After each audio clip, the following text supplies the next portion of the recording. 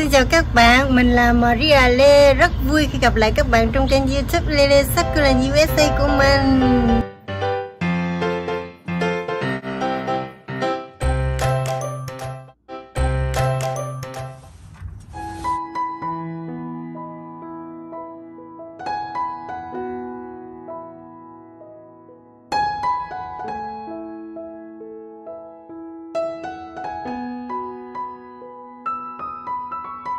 Khu vực ươm lá của mình để ở trong nhà.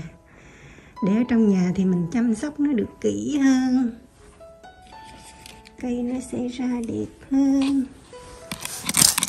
Và ở trong nhà thì thường mình sẽ xịt nước như thế này thôi cho nên sẽ không có giờ bị ấm đây là số lá mình ươm đây các bạn. Đó, đang lên con rất là dễ thương luôn.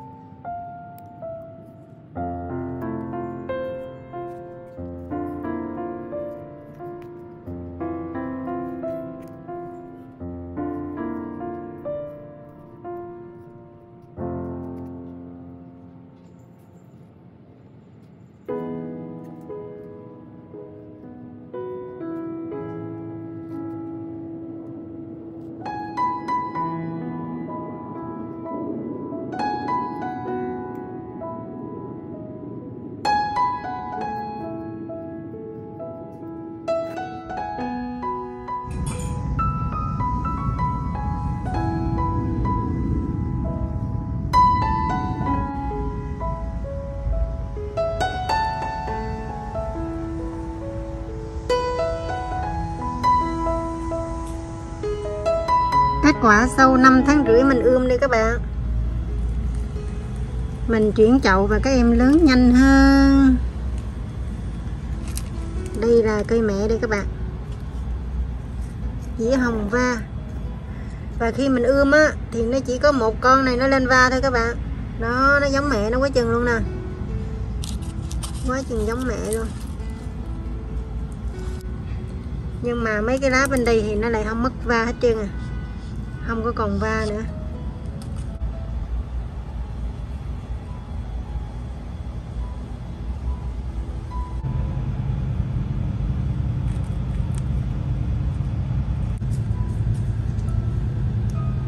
Còn cây này á, nó gần giống như là hồng dâu va vậy đó các bạn.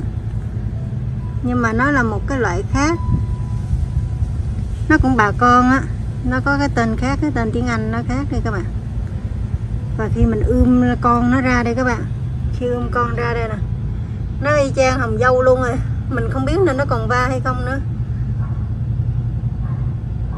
Anh ươm lá lên con rất là đẹp luôn. Nhưng đôi lúc là nó có thể là mất va nha các bạn. Quá chừng đẹp luôn á. Lên con mập mập không à.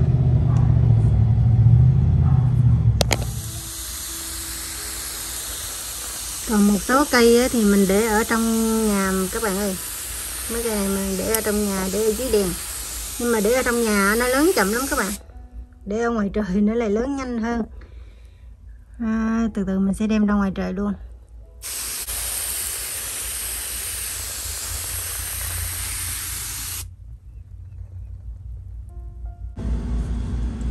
Đây là hai mẹ con đấy các bạn cây mẹ hôm rồi là mới bị rầy á các bạn. Nhìn tội nghiệp chưa? Đây lá con lên va. Và đây hai mẹ con nữa. Cây này mình, tuần mình tưới một lần luôn á, mà không biết sao nó dư nước hay sao mà các bạn nó nứt lá luôn nứt lá luôn